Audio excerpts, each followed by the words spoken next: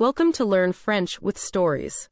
Today, we will learn about decorating for the holiday season. Let's begin.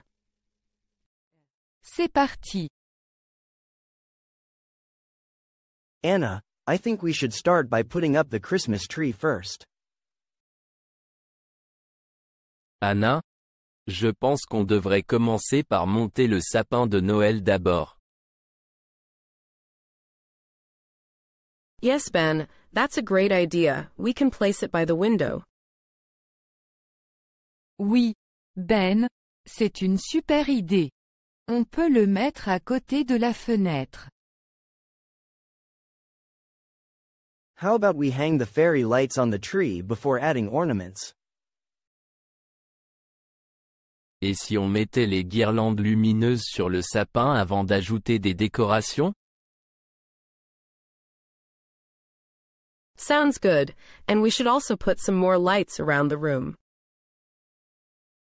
Ça marche, et on devrait aussi mettre quelques guirlandes lumineuses dans la pièce. I bought some new ornaments this year, they're gorgeous.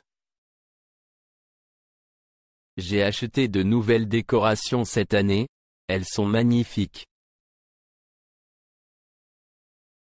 Oh, they look beautiful. Let's make sure to use every single one. Oh, elles sont belles. Faisons en sorte d'utiliser chacune d'entre elles. Lastly, we can add some holiday-themed cushions and blankets to the sofa.